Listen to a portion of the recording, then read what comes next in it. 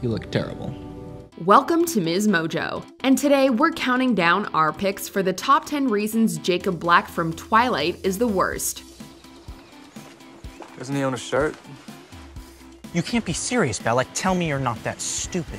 Don't get me upset. Hey, stop. Things are gonna get stop, very stop, ugly. Stop. For this list, we'll be looking at the brooding werewolf's most questionable personality traits and worst decisions. If you haven't seen all the Twilight movies, a spoiler warning is now in effect. Are you Team Edward or Team Jacob? Let us know in the comments below. Number 10. When he imprints on Renesmee, The Twilight Saga Breaking Dawn Part 1. We know that imprinting is an involuntary phenomenon that occurs the first time a shapeshifter sees their imprintee, but it's also the only reason Jacob doesn't end a newborn baby's life. He may have not been able to control the process, but that doesn't change the fact that he's now bonded to Bella and Edward's child for life, even though Renesmee was just born. You imprinted on my daughter? It wasn't my choice. Imprinting doesn't always lead to romantic relationships, but it's heavily implied through psychic visions and dialogue that Jacob and Renesmee will eventually end up together. It also doesn't help that he spent years pining over her mom.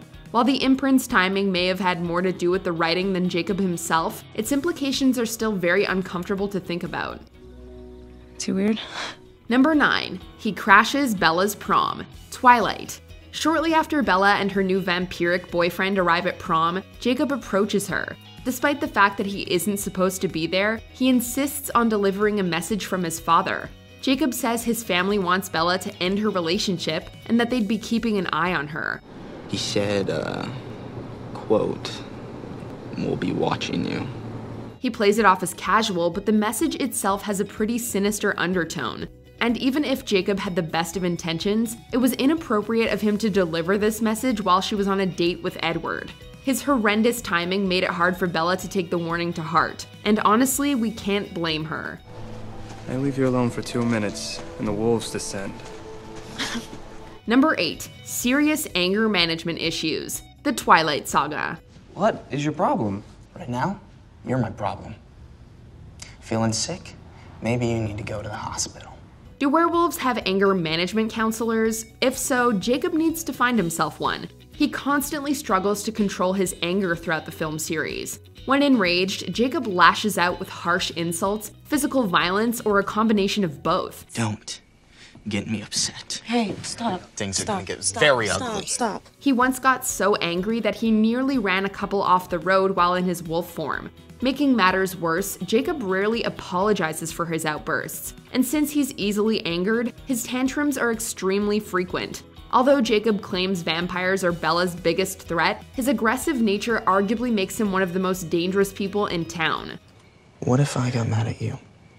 Number 7. The Cullen Cuddling Incident. The Twilight Saga Eclipse. I can't sleep with all that teeth chattering going on.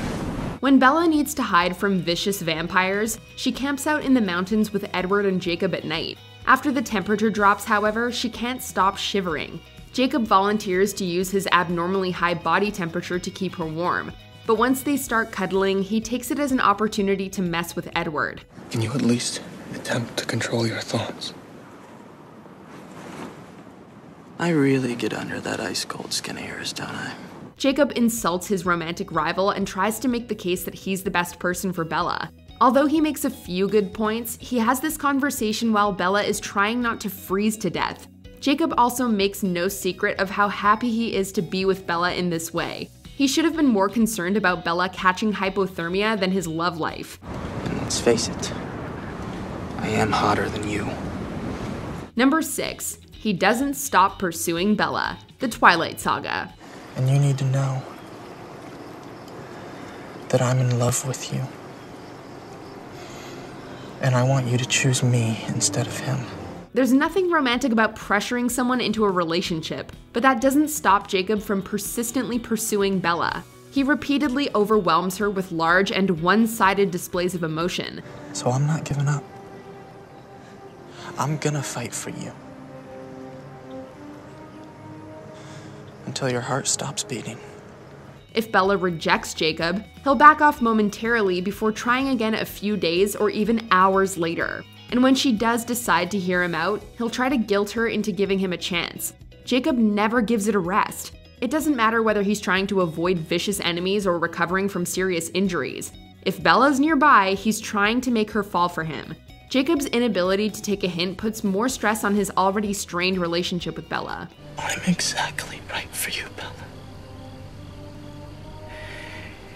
It would be as easy as breathing with me. Number 5. Kissing Bella without consent. The Twilight Saga Eclipse. I just want to do this differently. Smoother. But now I'm out of time. In the Twilight Saga Eclipse, Bella struggles to decide if she's ready to marry Edward and become a vampire. But before she can make a decision, Jacob decides to insert himself into the relationship. He makes another impassioned plea for Bella to be with him. When she doesn't budge, Jacob forcefully kisses her. The kiss makes her so upset that she hurts her wrist punching him in the face. It doesn't matter how strong Jacob's feelings are, Bella clearly didn't want that kiss.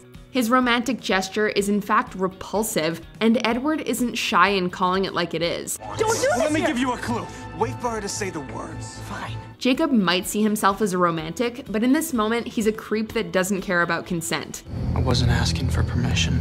Number 4. Making Edward think Bella was dead. The Twilight Saga New Moon.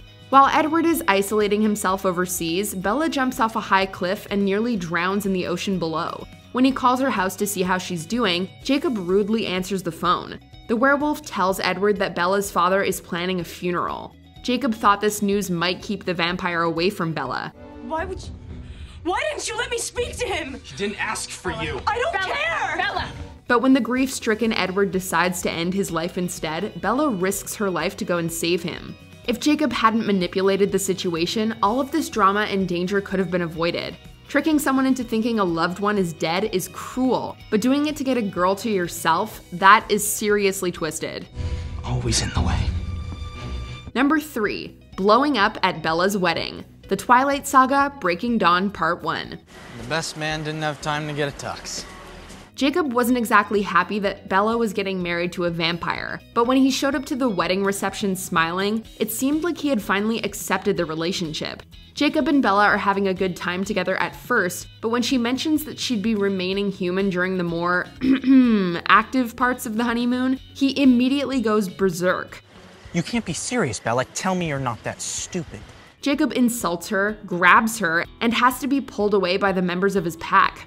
The tantrum Jacob throws during the reception proves that Bella made a mistake letting him anywhere near her wedding. Is what soon I'm gonna be dead to you. Number 2. Threatening to hurt himself. The Twilight Saga Eclipse. After eavesdropping on a conversation in which Bella talks about her engagement, Jacob flies into a rage. He tells her that he wouldn't mind getting himself killed since she won't be with him. Maybe I'll get myself killed and make it simple for you. No, just Jake, stay. Although Bella keeps offering Jacob support and apologies, he refuses to back down from his threat until she kisses him. Jacob. Kiss me. He doesn't care that she's only doing it to stop him from hurting himself. Jacob milks the moment for all it's worth, then runs into battle anyway.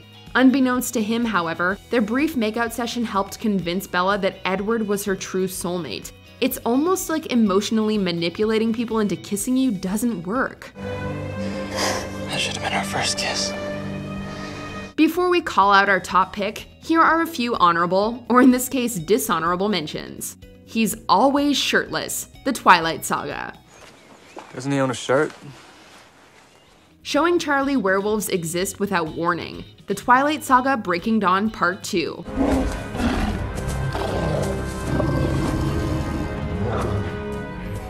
I solved a problem. You were leaving. Giving Renesmee a terrible nickname, the Twilight Saga Breaking Dawn Part 2. From the beginning, it was Nessie who wanted me there. Nessie? You nicknamed my daughter after the Loch Ness Monster? His questionable age gap with Renesmee, the Twilight Saga Breaking Dawn Part 2.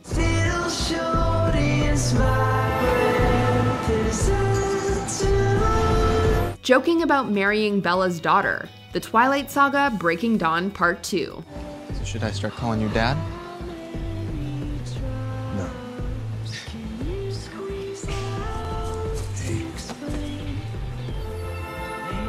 Before we continue, be sure to subscribe to our channel and ring the bell to get notified about our latest videos. You have the option to be notified for occasional videos or all of them. If you're on your phone, make sure you go into your settings and switch on notifications. Number 1. Nearly Ending an Infant's Life The Twilight Saga Breaking Dawn Part 1. I can see what that thing's doing to you. It's a killer, Bella. You're wrong. It's extremely risky for a human to carry a vampire's baby. So when Jacob finds out Bella is pregnant with a potential vampire, he immediately asks her to reconsider. After a lot of coaxing, the hot headed wolf agrees to protect her and the child, but he nearly goes back on his word in the worst way. Tell Sam that when the moment comes, I'll be the one to destroy it. Jake! I'm the only one who can. When Bella appears to die in childbirth, Jacob almost kills baby Renesmee a few hours after she's born. The fact that he even considered committing such a heinous act raises the question as to whether his character can be redeemed. If Jacob truly cared about Bella, he would never threaten her child. Well, I can see what everyone's been talking about. Jake, you really do stink. Agree with our picks? Check out this other recent clip from Ms. Mojo and be sure to subscribe and ring the bell to be notified about our latest videos.